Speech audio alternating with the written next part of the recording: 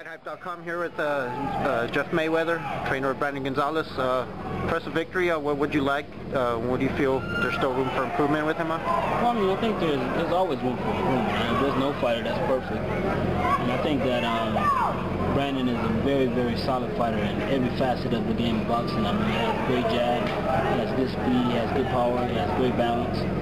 Um, you know, I think that he's a guy that within a year's time, I think that he will be a champion of the world. Uh, when he came to you, uh, what was it? Uh, had you previously seen him fight? Did you know about him? Um, you know when he approached. Oh, okay. Uh, and then his previous trainer with uh, Ray Woods. Um, any relation with with Ray Woods, a former trainer, uh, Diego Corrales? Um, um, to be honest, I don't really know anything about Ray Woods either. Okay, so he came at you were neutral. You had nothing to yeah, do with any split yeah, or anything. No, I had nothing to do with the split. I mean, basically, I was contacted by um, Terry Lane via Facebook. Um, he saw me work with um, Mickey Bey, and um, he was impressed. And also, I guess I guess he also knew that me and Brandon would probably have good chemistry because I'm very I'm a very laid back guy, very humble guy, just like him. Uh, in your own pro career, I fought a lot of the up-and-comers. I fought with uh, uh, a lot of guys had your own experiences. What do you take from that now that, uh, as a trainer, uh, try and instill in your fighters? Well, basically, not so much. I don't take so much from you know from my own experience as as a fighter. I think that as a trainer, it's much much more rewarding. You know, because I look at it as me being an artist, and basically when I get the fighter, I start with an empty canvas, and you know, and my objective is know make a masterpiece. Yep. From the famous Mayweather family, have you spoken with Floyd? A lot of the talk about you know what what he wants to do, and maybe that Pacquiao fight being in his hands. Uh, what do you feel about that whole situation?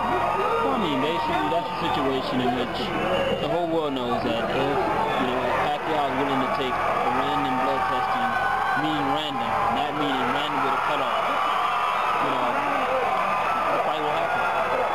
I mean, by far, Floyd's not scared of Pacquiao in no way, shape, or form, but we also do want to have a, um, an even playing field. I mean, he has a legacy, to protect, you know, and just as, I mean, don't get me wrong, and Pacquiao does as well, but at the same time, I mean, if you have one guy that's willing to do all the things that you asked of him, you asked $10 million for every pound over, you want to use certain type of gloves, you want a certain size ring, you know, and I mean, and this man agreed to it, but he only asked you one thing, and he said, random blood testing, and I mean, all, all,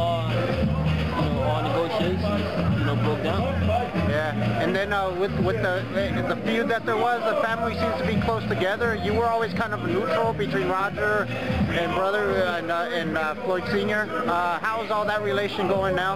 Well, I mean, I have a good relationship with pretty much with everyone. You know, I mean, I never really had a bad relationship with anyone in my family in that aspect, but I mean, there was a time there was a little distance between me and Floyd Jr., but it was more by choice